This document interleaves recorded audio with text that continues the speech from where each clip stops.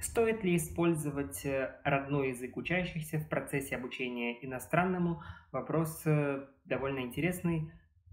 Хотя надо признать, что время от времени он э, даже и не встает в том случае, а если это не актуально, если вариантов нет, если преподаватель носитель, то понятное дело, что он не будет учить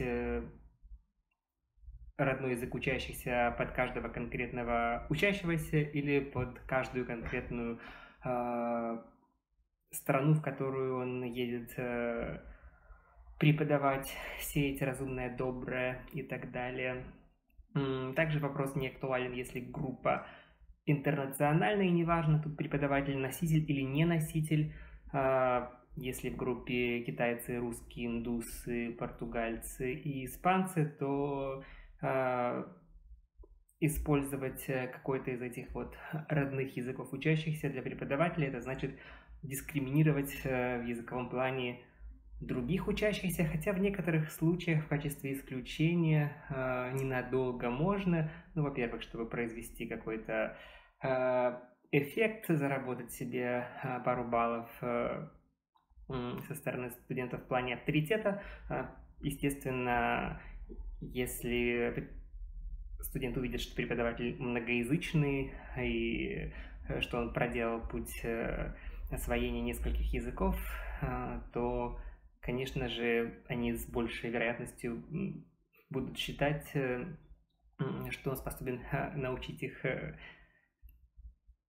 эффективно и быстро также иногда начальных, на начальных этапах, особенно для установления контакта а, со студентами, можно перекинуться а, на родном языке пар, э, парой слов э, с ними, если а, ну, такая возможность у преподавателя имеется. Ну, конкретно сейчас по теме, то есть э, использование и целесообразность использования исключительно английского языка при преподавании английского.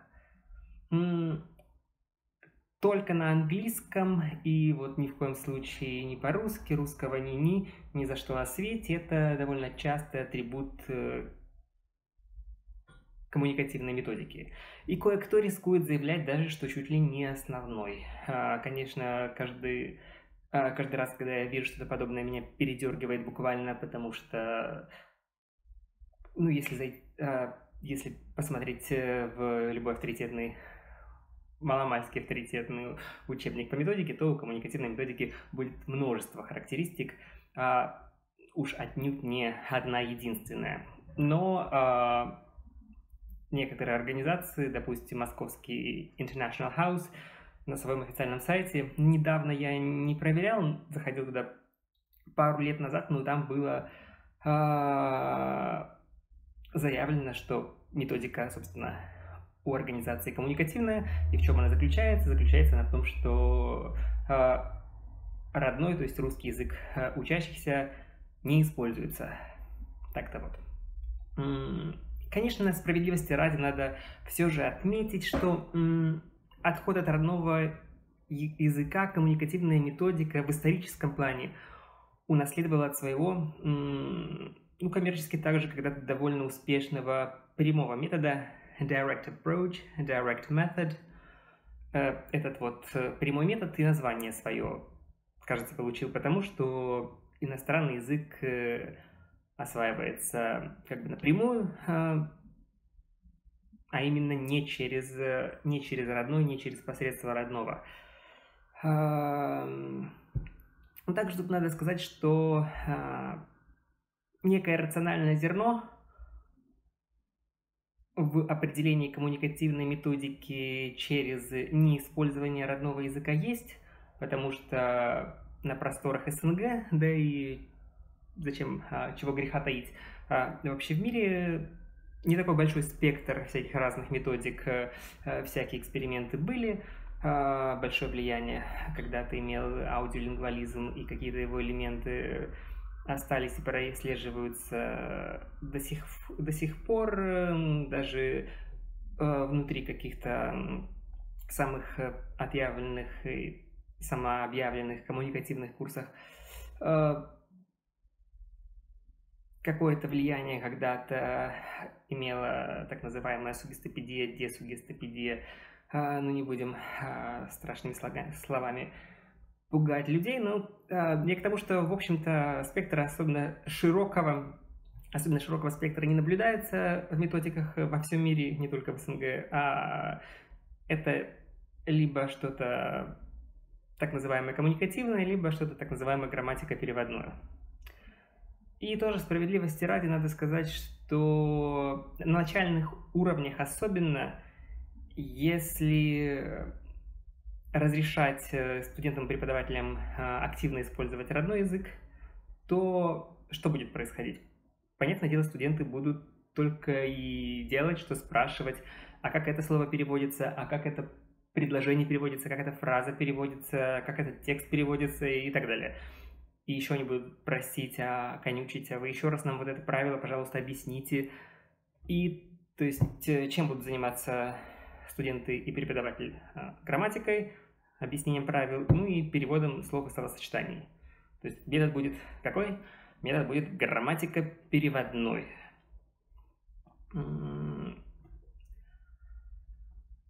Тут бы хотелось э, в этом ключе следующий вопрос, э, следующий момент э, отметить.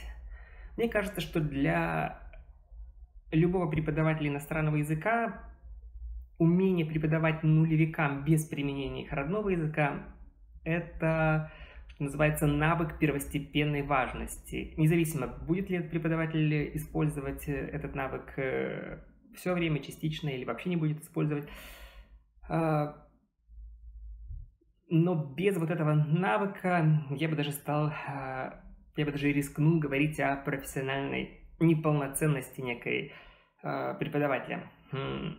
На самом деле это не так просто, как может показаться на первый взгляд. Я имею в виду, ну вот вы представьте, перед вами 10 человек, и у вас с ними общего языка нет. Либо вы носители, и вы не знаете их языка, либо вы знаете их язык, и у вас и у них язык, скажем, русский, но по методическим соображениям организация вам запрещает, или вы сами себе запрещаете использовать э, русский язык, и надо как-то вот э, выжить, э, как-то как выкручиваться. Это важный навык просто, ну, для начала с психологической точки зрения. Даже вот если вы с ними, с этими десятью в течение 90 минут справитесь без родного языка, то потом вам уже, что называется, ничего не страшно. А если вы им сможете объяснить, что делать в следующем задании, то любому уж другому уровню э, что бы то ни было на свете э, объяснить э, труда не составит, не представит никакого. Такое вот преподавание на начальных уровнях, э, особенно на, на нулевом самом таком стартовом э, уровне для бегинеров, что называется, это настоящий тренинг сбучка в плане коммуникативности для преподавателя, потому что, ну, во-первых, приходится подключать э, мимику и жесты, всевозможную невербалку, так называемую. Во-вторых, э, это тоже важно, надо уметь терпеть, выносить молчание на уроке, а у нас культура ну, западная культура в широком смысле слова, она такая очень разговорчивая. Нам даже в лифте иногда неловко ехать и вообще ничего не сказать человеку. И тут вот э, надо как-то наловчиться и не заполнять, э, э, так сказать, радиоэфир своим бесконечным жужжанием э, для разрядки обстановки. И этот навык дорогого стоит – а, потому что очень хочется говорить, говорить, говорить, тараторить, тараторить, и э, в плане лекции а, или в плане видео а, на YouTube это нормально, потому что люди смотрят и слушают, они для этого пришли. А когда народ пришел э, на курсы иностранного языка, то я не уверен, что они пришли для того, чтобы только просто сидеть и, и слушать.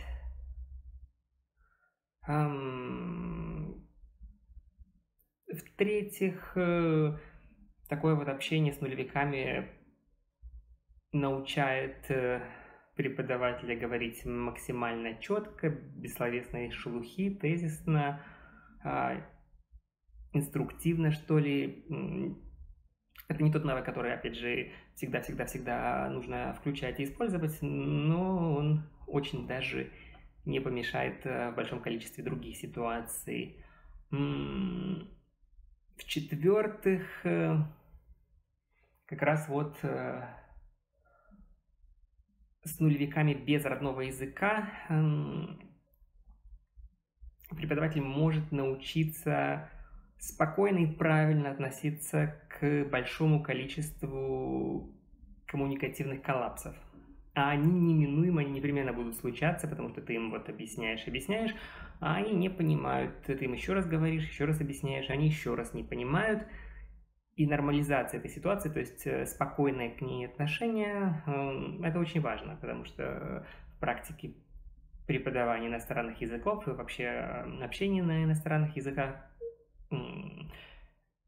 коммуникативные коллапсы – это часть процесса, без которой никак э, не обойтись, и к ним надо относиться а, предельно спокойно, и надо учить э, учащихся относиться к ним предельно спокойно, а чтобы учить э, учащихся относиться к коммуникативным коллапсам предельно спокойно, преподавателю самому надо относиться к ним предельно спокойно. А, извиняюсь за такую вот длинную формулировку, немножко, может быть, неудобоваримую. Также на вот этих вот начальных уровнях без родного языка преподаватель э, учится постоянно отслеживать, поняли ли. Э, потому что если вот на родном русском разговаривать с людьми, то как бы по умолчанию сказал и, и по умолчанию ожидаешь, что, что поняли. Ну, простым же русским языком сказано – чего тут непонятного? А на самом деле очень часто происходит э, далеко не так.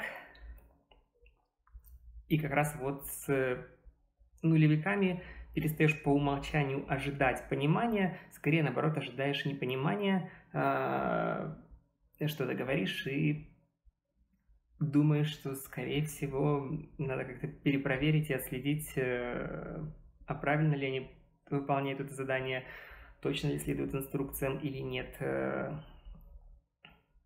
Так что вот так. Еще раз, э, уметь без родного языка обходиться на начальных уровнях для, для преподавателя это супер, супер важно, супер нужно, совсем независимо от того, будет ли он пользоваться этим навыком или не будет.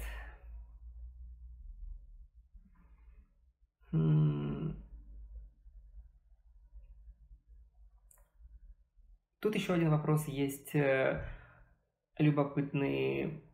Тут я говорил про использование родного языка а, на уроках по иностранному со стороны преподавателя. Ну, иногда э, обсуждается и встает вопрос, а стоит ли каким-то образом пытаться ограничить студентов в использовании родного языка? И на самом деле некоторые э, отдельно взятые педагоги или целые даже организации, а, ну, то есть вечерние курсы, либо языковые центры, либо методический коллектив э, какого-то образовательного учреждения типа школы или вуза, а, решают э, прибегать реально к драконовским мерам и пытаться э, полностью свести на нет использование студентами родного своего языка. Иногда это обыгрывается, ну, особенно на каких-то вечерних курсах, эм, где клиентами дорожат и пытаются к, ними, а, к ним подойти всячески гуманистически, что называется, и поэтому процесс происходит в довольно игровом ключе, допустим, ставится на стол какая-нибудь э, прикольная хрюшка-копилка, и за каждое слово на родном языке студенты э, студентам полагается заплатить э, штраф, это какие-то совершенные копеечки, но когда вот очередная студентка вынуждена открывать сумку, кошелек брать эту маленькую копеечку, а все вокруг смотрят и похихикивают, и, и как-то неловко, то потом два раза, конечно, придется подумать, э, два раза этот студент как минимум подумает, прежде чем снова э, в ответ на вопрос по, на английском языке, звучащий во время разговорной практики, что-то изрекать э, на родном языке. Ну и во время разговорной практики это по-своему целесообразно, я ничуть не, не против э, подобной практики. Хотя, конечно, если э, студентам дается какое-то задание, допустим, в парах выполнить э, грамматическое упражнение, то заставлять их тут говорить на английском это как-то странно. Во-первых, нельзя реально это как-то отследить, и вполне возможно, что преподаватель э, скатится в ситуацию, когда он будет э, бегать и истошно кричать э, по аудитории, вопить English, only English, no Russian, no Ukrainian, no Kazakh, no Spanish, в зависимости от того, на каком родном языке говорят студенты. И эта картинка не самая симпатичная, да и к тому же, если запретить студентам а, на начальном уровне разговаривать друг с другом на родном языке, то мы их лишаем возможности чему-то научиться друг у друга, а иногда это неплохо, то есть преподаватель, в принципе, если запрещает себе переводить какое-то слово для студентов, то студенты могут перевести его друг для дружки, это самое слово, таким образом лучше понять, усвоить э, такой, что называется, обходной путь, э, они становятся более автономными и э, к тому же э, быстрее движутся к цели в плане освоения языка.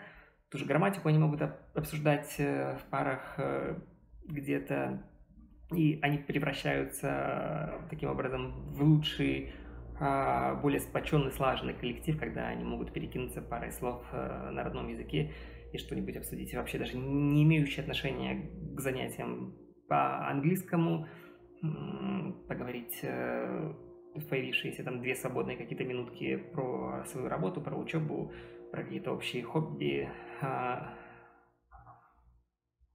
сплоченности коллектива, что называется, и вообще общему прогрессу группы это пойдет однозначно только, только на пользу.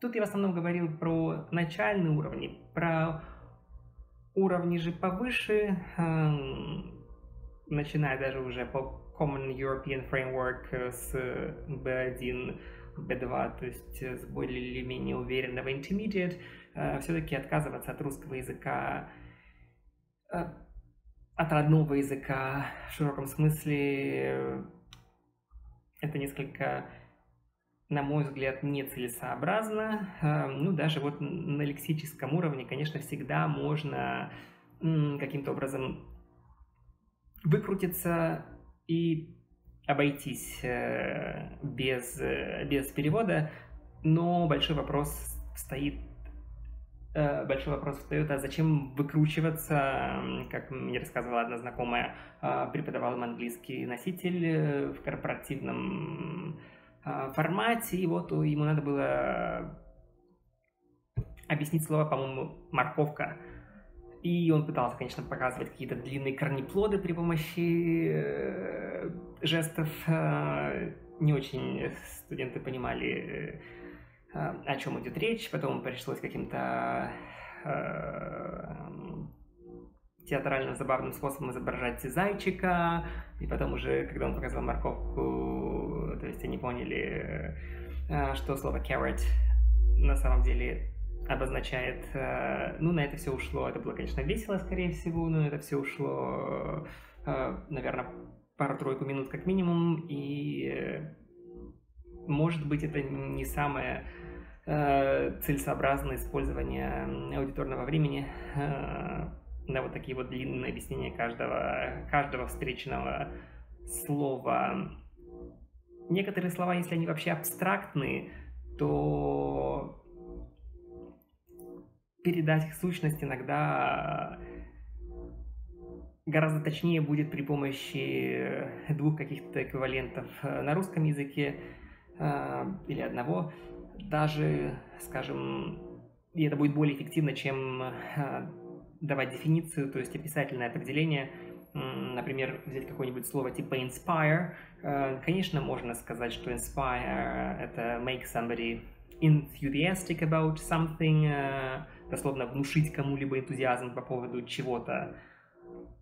Но не факт, что сразу дойдет э, гораздо эффективнее, гораздо быстрее, гораздо короче тут путь перевода и сказать, что inspire — это значит вдохновлять. И сразу все более или менее понятно.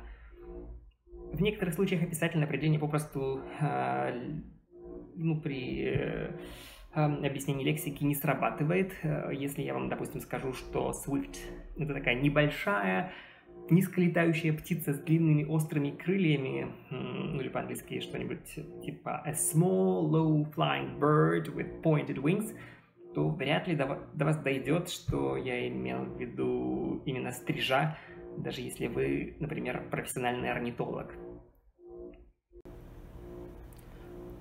Применительно к использованию родного языка от студентов иногда, не иногда, а вообще довольно часто, я бы сказал, поступают э, вопросы типа а как и стоит ли учить э, себя думать на иностранном языке, на мой взгляд, вообще все эти... Сама постановка вопроса это и попытки ответа на него это несколько от лукавого, потому что возникает закономерный тут э, напрашивается контр э, вопрос, а думаем ли мы на языке? А, потому что если мы понаблюдаем над э, вот этим вот э, когнитивным, ментальным э, процессом в голове происходящим, над процессом думания, то, скорее всего, мы заметим, что это не какой-то такой целенаоформленный и облеченный в законченную языковую, такую вербализованную форму разговор с самим собой – в большей степени, скорее всего, мышление, оно сводится к неким таким, а, я не побоюсь этого слова в данном случае, мыслеобразом, то есть какие-то такие мутные немножечко картинки, а, вспышки цветов, запахов и так далее, конечно же, оно накладывается на язык, и то есть э, какие-то концепты всплывают в форме, в форме слов э, или каких-то выражений. Э, безусловно, ну как вот эту вот э, такую кашу из э, в большей или меньшей степени вербализованных мыслеобразов переводить как бы с одного языка на другой. Э, это вопрос э, ну, для меня загадочный, в высшей степени, и открытые ответы у меня на него нет. Э, иногда студенты спрашивают, а вот, э, может быть, стоит как-то вести разговоры с собой ну, в голове на английском языке, и, э, может быть, стоит запрещать себе при разговоре переводить собственные мысли. Ну, по поводу ведения разговоров с собой на иностранном языке, я всегда говорю, ну, если у вас такое получается, то это замечательно, восхитительно и здорово, только, вот э, всячески приветствую, разговаривайте. Я не знаю, у меня не очень получается а, как-то вот с собой а, вести такие осмысленные э, диалоги, разговаривать э, с самим собой в форме законченных и оформленных текстов или даже отдельно взятых предложений. По поводу запрета э, себе переводить собственных мыслей или вот этого вот наби, на, набивающего или уже набившего даже оскомину э, типа, переводить собственные мысли не стоит, надо сразу думать на иностранном языке, и вот э, какие-нибудь тоже очередные курсы, как маркетинговый ход, пишут на сайте где-нибудь, что вот мы э, мы научим вас думать на иностранном языке, вы будете сразу, даже уже на начальных уровнях, сразу же думать на начальном, на иностранном языке, на английском языке, на немецком языке, на французском языке, и вот э, мысли у вас типа не будут приходить э, в голову на родном языке. Мне очень интересно, как это э, можно на практике сделать. Залезть в голову и сказать мыслям, вот вы, вы, вы, вы сюда не ходите, вы туда ходите. А, и на самом деле тут любопытный момент, что часто бывает, что если вы знаете помимо э, родного языка еще какие-то иностранные и учите очередные иностранные, то, допустим, вот в моем случае, если я пытаюсь э, говорить по э, немецки, у меня часто всплывают э, не русские, а первоначально какие-то английские слова. Если я пытаюсь говорить по-французски, у меня в свою очередь всплывают э, немецкие слова. Э, учитывая, что мой, скажем, разговорный немецкий несколько заметно лучше моего разговорного французского. И вот э, это происходит не только со мной, а я встречал еще подобные наблюдения, что они озвучиваются другими людьми. И, в общем, да, можно предположить, что вот э, как бы вот, вот родной язык, а иностранные языки в голове, они в какой-то другой комнате, они вместе там а, живут. Эм, хотя тоже тут однозначно утверждать, что а, чем больше там языков живет, тем они вот будут смешиваться, тоже это фобии, опасения а, не сильно обоснованные. Если чаще пытаться на каком-то языке говорить, то постепенно он как бы активируется, активизируется и проблем с переключением особенно не будет. Это просто если вот, э, скажем, э, немецкий сильно заржавел и давно на нем не удавалось поговорить, и вот пытаешься на нем как-то изъясняться, то будут, скорее всего, английские слова более привычные в голове выскакивать. Ну, естественно, если никаких иностранных языков, кроме э, изучаемого английского нет, то, скорее всего, понятное дело, будут первые слова выскакивать на русском языке. И э, изловчиться каким-то образом так, чтобы сразу появлялись английские слова, а эти русские куда-то делись, а, это маловероятно. Тут вообще родной язык, он на то и родной, что его, что называется, не задавишь, не убьешь, он будет прорываться через любые, любые, любые баррикады.